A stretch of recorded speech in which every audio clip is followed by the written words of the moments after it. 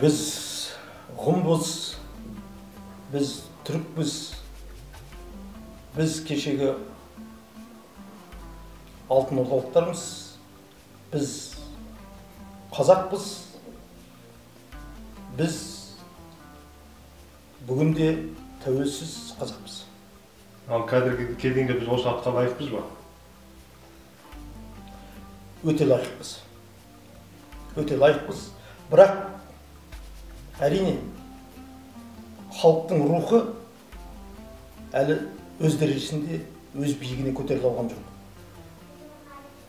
Сіз ә, шығармаларыңда тарихқа көп барасыз. Оның себебі не деп түсіндіресіз? Ол та- бір тарихты білгендіктен емес мен өзімді тарихшы деп есептемеймін. Бірақ тарихтың белгілі бір сілемдерін сезінгендіктен және тарихи сезім мен тарихи ой санаңда қалыптасқандықтан бәлкім. Азаматтық позицияңды көрсету тұрғысынан тарих саған керек болады. Тарихи сана туралы көзқарасыңыз қандай? Бізде тарихи сана толық қалыптаспаған ұлтпыз тарихи сан, тарихи сан- са- санаға біз әлі толық дәрежесінде жете алған жоқпыз.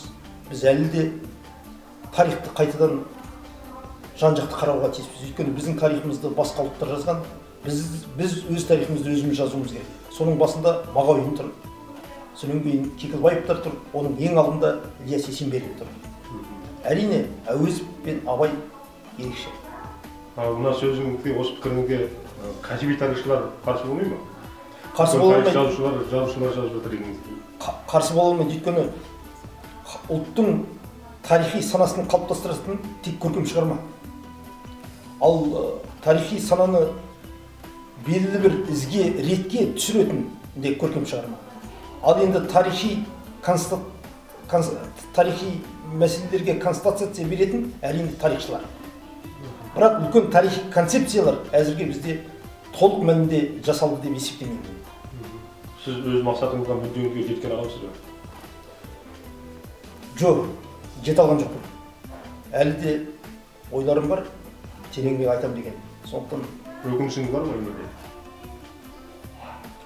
өкінішім бар ең үлкен өкінішім әкемнің ертерек кетіп қалғаны бәлкім әкем әлі де болмағанда он жыл ғұмыр сүргенде менің көзқарасымда көптеген дүниелер басқаша болып өзгерер еді деп ойлаймын тағы тосын сұрақ сізге бір тәулік қана өміріңіз қалды не істеуге көрер едіңіз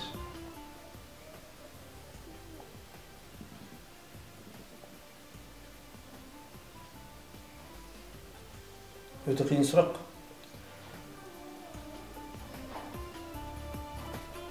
Ештеңе де істемес едім өйткені алланың жазуы ғой күтіп алар.